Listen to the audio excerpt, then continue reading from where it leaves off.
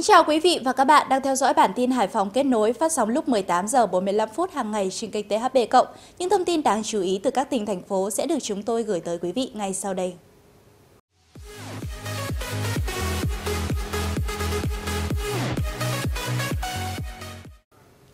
Thưa quý vị, thành phố Hải Phòng vừa tiếp và làm việc với đoàn doanh nghiệp Trung Quốc do ông Bàng Cương Trí, Chủ tịch Hội đồng Quản trị Tập đoàn An Tín, Chủ tịch Hiệp hội Doanh nghiệp Phương Đông Trung Quốc, Chủ tịch Hiệp hội Doanh nghiệp Chiết Giang tại Quảng Đông làm trưởng đoàn.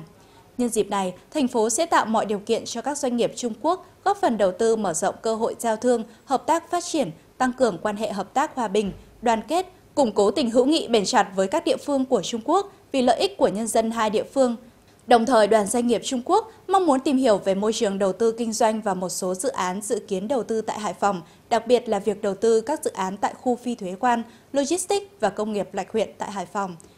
Tính đến hết năm ngoái, trên địa bàn thành phố có 943 dự án đầu tư còn hiệu lực của nhà đầu tư nước ngoài, trong đó có 384 dự án đầu tư từ nhà đầu tư Trung Quốc, bao gồm Trung Quốc đại lục, Đài Loan với tổng số vốn đầu tư đạt 6,04 tỷ đô la Mỹ.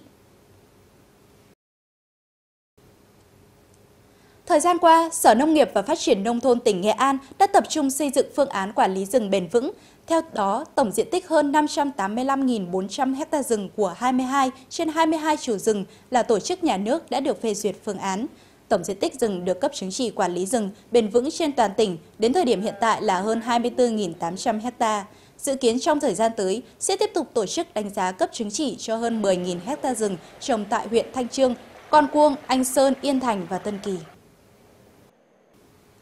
Mặc dù chưa đến mùa nắng nóng, mùa cao điểm của dịch bệnh dại, song trên cả nước và tỉnh Quảng Ninh đã liên tiếp xuất hiện các ổ dịch dại trên động vật. Trong đó đã có 22 trường hợp lây nhiễm sang người gây tử vong tại một số tỉnh thành. Để phòng chống dịch bệnh nguy hiểm này, rất cần sự vào cuộc quyết liệt của chính quyền địa phương và nhất là mỗi người dân chủ động nâng cao nhận thức trong phòng chống dịch bệnh.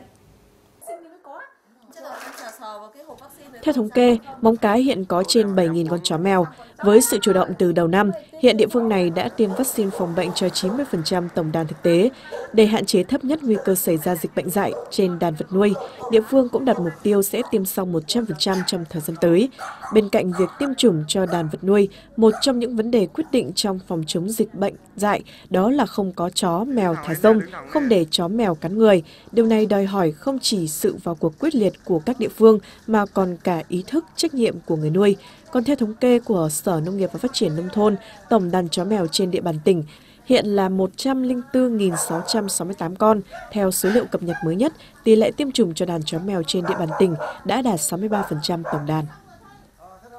Sáng ngày 24 tháng 3, tức ngày 15 tháng 2 năm Giáp Thìn, tại tỉnh Hải Dương, Ủy ban Nhân dân huyện Cẩm Giàng phối hợp với Sở Thông tin và Truyền thông khai hội truyền thống mùa xuân Văn Miếu, Mao Điền và Ngày hội sách năm 2024. Văn miếu Mao Điền là di tích lớn thứ hai trong hệ thống văn miếu Việt Nam, chỉ sau văn miếu Quốc tử giám Hà Nội, nơi kế thừa và tiếp nối của văn miếu Trấn Hải Dương xưa. Văn miếu Mao Điền thờ Khổng Tử, ông tổ của đạo Nho và phối thờ tám vị đại khoa tiêu biểu là thầy giáo Chu Văn An, lưỡng quốc trạng nguyên Mạc Đĩnh Chi, nhập nội hành khiển Phạm Sư Mạnh, đại danh y thiền sư Tuệ Tĩnh, anh hùng dân tộc, danh nhân văn hóa thế giới Nguyễn Trãi, thần toán Việt Nam, tiến sĩ Vũ Hữu, Trình Quốc Công Trạng Nguyên, Nguyễn Bình Khiêm và tiến sĩ Nguyễn Thị Duệ, nữ tiến sĩ đầu tiên của Việt Nam.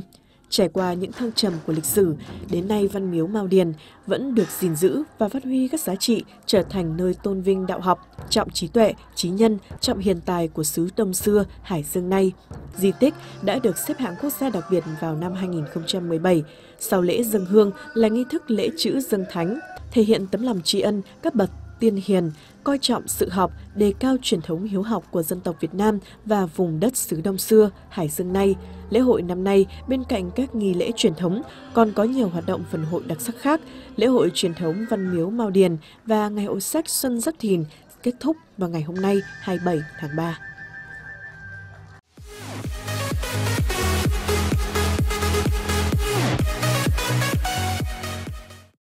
Trên cơ sở những tương đồng về nhiều mặt giữa hai huyện đảo, đồng thời cụ thể hóa kết luận 160 về chương trình hợp tác giữa thành phố Hải Phòng và tỉnh Quảng Ninh ngày 20 tháng 10 năm 2021, huyện ủy Cô Tô và huyện ủy Bạch Long Vĩ đã thống nhất xây dựng chương trình phối hợp triển khai chặt chẽ trên nhiều lĩnh vực trọng tâm. Huyện đảo Bạch Long Vĩ, thành phố Hải Phòng và huyện đảo Cô Tô, tỉnh Quảng Ninh là hai huyện đảo có vị trí chiến lược về quốc phòng, an ninh trên vịnh Bắc Bộ.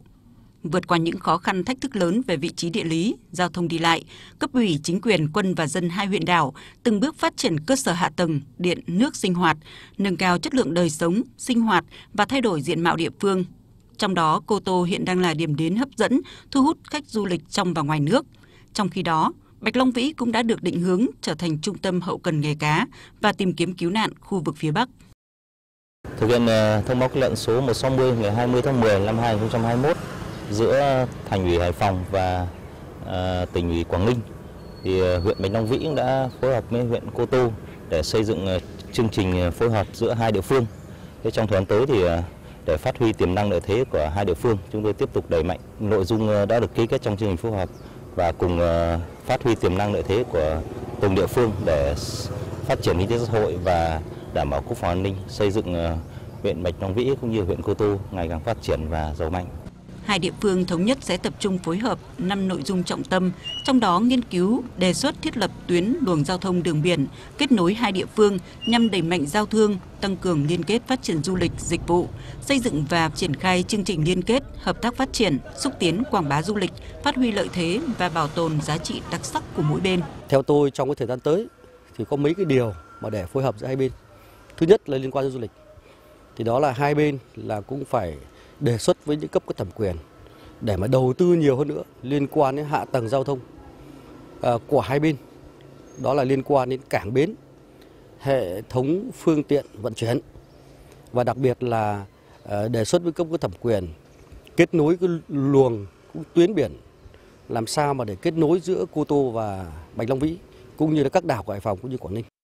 Thời gian tới, hai địa phương sẽ đẩy mạnh tăng cường hợp tác hiệu quả hơn nữa với quyết tâm cao nhất là đồng hành, chia sẻ kinh nghiệm, cùng nhau phát triển mạnh mẽ hơn nữa trong tương lai.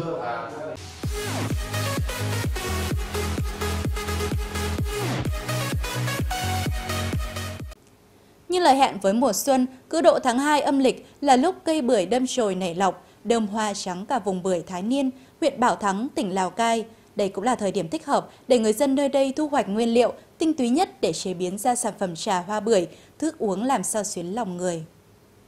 Thôn Múc, xã Thái Niên những ngày tháng 2 âm lịch, hoa bưởi bung nở đẹp nao lòng người, thu hút khá đông du khách hòa mình với thiên nhiên. Khi mà đến với cái không gian vườn bưởi này à, thì à, cái cảm nhận đầu tiên đó là cái hương bưởi rất là dễ chịu và cái cuộc sống bề bộn ở thành thị nó nó nó đã làm cho con người chúng ta thấy bí bách thì về với cái thiên nhiên này em cảm thấy là rất là thoải mái sảng khoái và uh, hết cả cái mệt mỏi đi. Mỗi lần được đi trải nghiệm như này thì em cảm thấy rất là bình yên. Về với uh, uh, vùng đất bưởi này thì em thấy là uh, không gian nó rất là thư thái ạ. Mùa hoa bưởi làm cho mảnh đất Thái Niên càng trở nên thơ mộng và quyến rũ, thu hút du khách đến đây nhiều hơn. Vài năm gần đây, nông dân Thái Niên đã biến những vườn bưởi thành điểm du lịch sinh thái đón khách tham quan thường ngoạn. Bên cạnh những sản phẩm như bưởi quả, quả bưởi non sấy khô, thì giờ đây người dân Thái Niên đã tận dụng lượng lớn hoa bưởi thu hái được sau mùa thụ phấn, kết hợp với sản phẩm chè của địa phương để tạo ra một sản phẩm đặc hữu trà hoa bưởi. Ngày trước hoa bưởi nở ra chỉ để đậu quả và rồi tàn. Nhưng mà một, một hai năm gần đây thì người dân đã biết hái hoa bưởi tận dụng để ướp thành trà hoa bưởi giúp cho người dân có một lượng ờ, thu nhập khá khá cho người dân. Với diện tích hoa bưởi của vườn nhà thì ờ, hàng tuần hàng là gia đình cũng mở cửa đón các du khách đến để tham quan, ờ, chụp ảnh và đến chơi và thưởng thức trà hoa bưởi ờ, của đặc sản của của thôn bản mình ạ. Trà ướp với hoa bưởi tự nhiên cho hương thơm nồng nàn quyến rũ, thứ hương thơm đặc trưng của mùa xuân. Sự giao thoa hài hòa giữa trà và hoa mang đến cho người thưởng trà cảm giác sao xuyến nhẹ nhàng, thanh tao, nhưng thi vị đến lạ kỳ. Với người dân Thái Niên, mùa hoa bưởi không chỉ là những ngày tất bật hạnh phúc khi giúp cây tăng tỷ lệ đậu quả mà còn là một mùa thu hoạch phụ đem lại nguồn thu đáng kể từ sản phẩm trà hoa bưởi và cũng là niềm tự hào, hy vọng cho một mùa trái ngọt mới bội thu. Cảm ơn quý vị và các bạn đã đồng hành với chúng tôi trong bản tin Hải Phòng kết nối. Hẹn gặp lại quý vị và các bạn vào khung giờ này ngày mai. Kính chào tạm biệt và hẹn gặp lại.